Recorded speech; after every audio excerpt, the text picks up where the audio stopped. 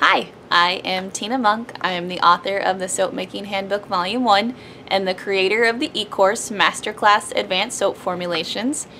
And I also have a large Facebook group called Soap Making and Business Coaching. We would love to have you if you have not joined. We currently have over 22,000 members and we have lots of information in the files for beginners as well as um, several business workbooks that I've written uh, for people that are in that direction. So um, we have beginner recipes and everything in the files there too. So please check out the files if you haven't. Now I am doing a beginner soap making series just for the basics. I'm going to cover several different top topics in short videos. Um, this one we are specifically going to go over what is soap and how it works. So um, you can take notes if you'd like. Okay, so one of the biggest things you need to know about soap is that it is not regulated by the FDA.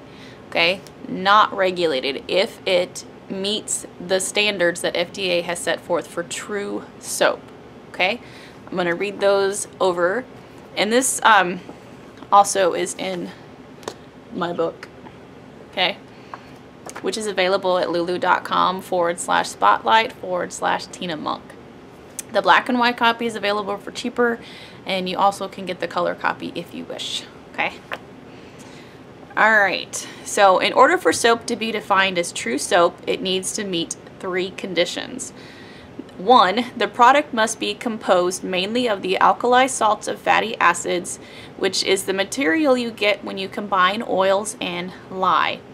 Those alkali salts of fatty acids must be the only material that result in the product's cleaning action.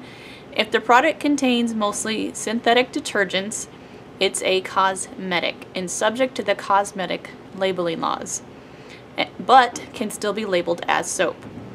To be regulated as soap, it must be labeled and marketed only for use as soap.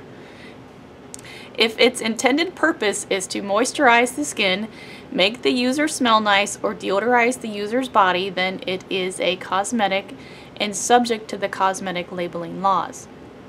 If the product is intended to treat or prevent any disease, such as killing germs, treating skin conditions like acne or eczema, it is a drug and subject to those laws, although it can still be labeled as soap, okay? So if your product meets the regu regulatory definition of soap, it's regulated by the Consumer Product Safety Commission. And I asked them specifically if they had any requirements um, for labeling or anything like that, and they said no. But, however, we do have to abide by the labeling laws that are set forth in the Fair Packaging and Labeling Act. And I highly recommend that you get Marie Gale's book on labeling, okay? Hugely important to know all this information. And Marie Gale also has a blog um, full of information on labeling as well. It's hugely important for you to have that information, okay? Okay, so let's go over what um, soap actually is and how it works and all of that, okay? Soaps are water-soluble sodium or potassium salts of fatty acids. And we know that soap is made from combining fatty acids with an alkali and water. These fats and oils contain distinctive mixtures of several different triglycerides. A triglyceride molecule is made up of three fatty acid molecules attached to a single glycerin molecule. There are several types of triglycerides. Fatty acids in the oils are weak acids composed of two parts. A. Carboxylic acid consisting of one hydrogen atom and two oxygen atoms and one carbon atom and a hydrocarbon chain attached to the carboxylic acid group.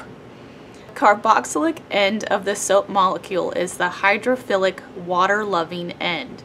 The hydrocarbon chain loves oil and grease and is the hydrophobic or the water hating end. So these two ends act together to pick up dirt and wash it away. Water has surface tension and the water molecules are attracted to each other. And you can understand the surface tension if you place a drop of water on the counter and it keeps its shape. and does not spread. Therefore, to clean effectively, we need to reduce the surface tension of the water by combining it with the soap. Okay? So I hoped, I hope that explains that a little bit better for you. Um, if you have questions about anything, please let me know. The takeaway from this video is to know um, exactly what soap is. It's the alkali salt of the fatty acids and how it's um, not regulated by the FDA if it is true soap and you only say that it cleans. That's what I recommend is that you only say your soap cleans. Don't make any claims with your soaps. If you make claims, then it becomes um, under the FDA regulations of drugs or cosmetics, okay? So we just, um, in the soaping community, we just need to be really careful of that and that um, I always say soap only cleans. So if you have any questions at all, um, I hope that little molecule that I drew helped you out too. So thank you so much for watching.